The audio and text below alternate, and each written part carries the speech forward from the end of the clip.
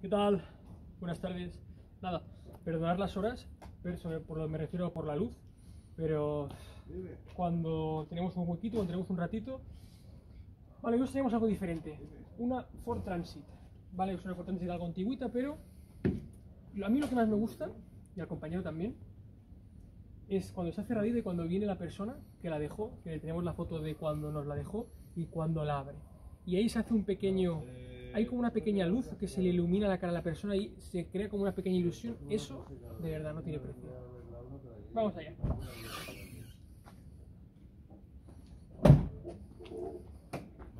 Vale, pues aquí la tenemos. Tenemos nuestro pequeño apartamento tipo cabañita, o sea, furgoneta camper, pero que nos gusta ponerle algún nombre. Este es el típico, bueno, pues un apartamentito, ¿no? De una habitación, pero tiene todo apretadito, tipo cabaña. Tenemos diferentes cajones.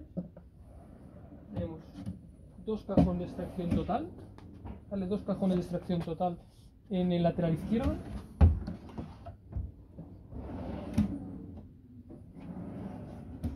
Todo tiene compartimento superior, se puede acceder tanto desde fuera como desde dentro. Tenemos un gran cajón central de extracción total. Esta furgoneta tiene almacenaje por todas partes.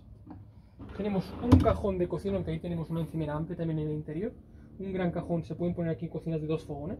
Y aparte de abajo, pues utensilios de cocina tipo alguna ollita o alguna cosita para más de cara al exterior. Como comentamos, todo tiene tapa superior, pero los dos laterales los hemos aprovechado para colocarle pues, bueno, dos pequeños, dos pequeños eh, baúles con tapa superior. En el otro lado igual. Pues para guardar, por ejemplo, nosotros aquí, por ejemplo, para, nos parece algo práctico guardar la, la ropa sucia. O ropa de cama, cosas así. Ven, vamos a abrir por la puerta corredera.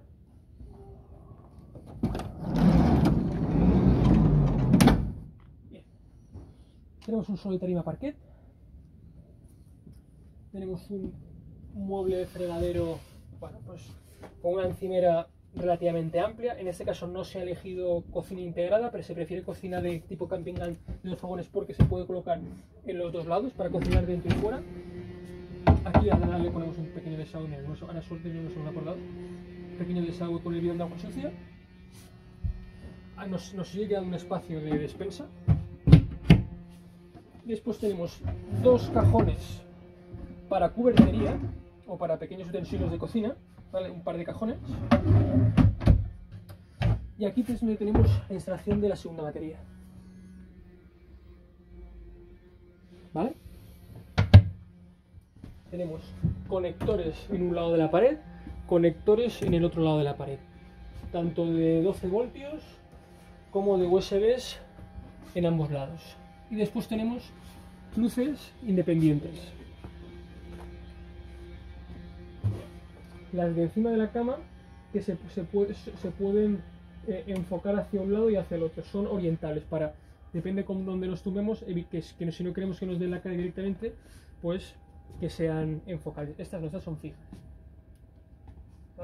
Tenemos la bomba conectada. Ese es el ruido de la bomba conectada. Y después tenemos pues diferentes compartimentos con tapa superior.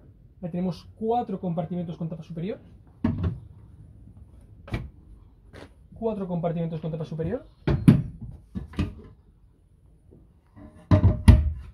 Y aquí tenemos dos más. Es, dentro es uno entero, pero para que sea algo, para que sea más cómodo, hemos hecho doble puerta para no tener una puerta tan grande. Nos hemos dejado una caja de tornillos. ¿Vale? Tenemos eh, el grifo que es exterior, o sea, sirve de, sirve de, no lo enciendo ahora porque no tenemos el desagüe, pero sirve de la pica, sirve de grifo y es extensible. ¿Vale? Se puede sacar tanto por la ventana, ay, perdón. Se puede sacar tanto por la ventana como por, por, el, por la puerta del piloto como por la ventana. Después hemos colocado una ventana eh, Fiamma de 60 por 50 o de, o de 65 por 55, ahora no me acuerdo. Una ventana pequeñita es justo para el camping gas, que es lo que se nos pidió. Y en principio, pues esta es la distribución que hemos hecho. Tenemos aquí el modo comedor. Digamos que esto es eh, para la mesa. Aquí, aquí tendríamos el comedor. Los colchones, como siempre, pues van, tenemos la, la barra Los colchones, como siempre, pues van a juego, en este caso sería en gris oscuro. Y todo con tapa superior, como decía. Hay un pequeño comedor interior, una cama, una cama amplia. Tenemos una cama de metro de metro 77 metro, bueno, casi rozando el metro 80 por 1,50 prácticamente. Vale, aquí tenemos un cajón interior para nevera, ¿vale? Nevera con tapa superior FR40. ¿De acuerdo? Y en principio lo tendríamos todo ya. Es una apreciación sencillita, pero práctica, polivalente, que están muy, muy, muy bien de precio.